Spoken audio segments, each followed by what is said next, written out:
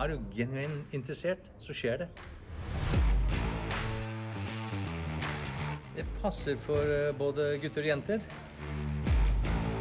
Nei, teknisk sett, hvis de kan eh, mer elektro, mer data, kunnskaper, er veldig viktig i dagens bilmarked.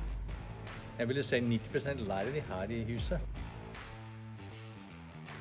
Vi har veldig tett samarbeid med skole og opplæringskontor. De går ett år på TIP, og så velger de året etterpå hvilken eh, bransje de skal inn. Hvis de velger bil, så når de er ferdig med det året der, så blir de sendt ut til å få tak i, eller få et lærlingplass. Eh, Det må de ut og finne sjøl, og det, det gir dem en litt utfordring. Vi har alltid tre til fire lærlinger her på plass.